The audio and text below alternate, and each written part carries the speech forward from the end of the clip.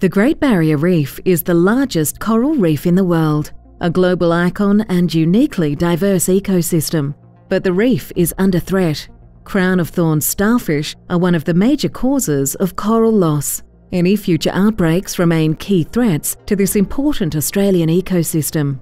At the CSIRO, our current focus is on reducing immediate damage and preventing or reducing damage in the future. We do this through a collaborative research effort.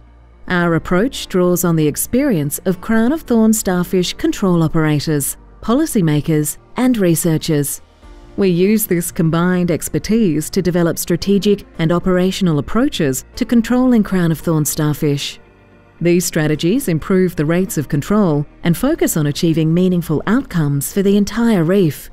At CSIRO, we imagine, we collaborate, we innovate.